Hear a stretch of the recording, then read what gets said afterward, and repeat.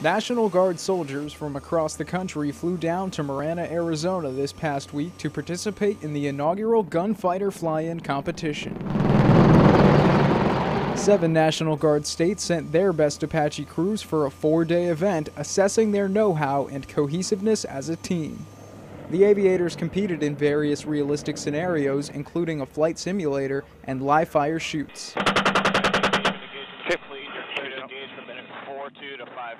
With so many diverse teams coming together, the takeaway for the crews was immeasurable. This gunfighter fly-in, it's nothing but attack pilots bringing everybody's experience together, everybody sharing that knowledge amongst each other and making you just a more effective attack pilot.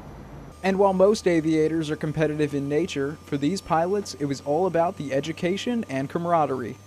When it comes to the competition, um, you know, that's great. But really the biggest bonus is learning from what's been up there and when they're grading those tapes, that's the opportunity to learn and to really take something um, away uh, to make you all a better aviator and attack. For the Arizona National Guard, I'm Specialist Chris Alcocer.